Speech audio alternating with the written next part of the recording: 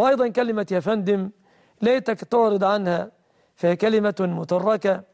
ونحن نحرص دائما على لغة العرب كي تعلو وكي تسود. أما أفندم والنينة والتيتا والكبري حتى كلمة الكبري أصلها القنطرة إنما تركيا دخلت على مصر. فنحرص على الألفاظ العربية أفضل وأسلم والله أعلم.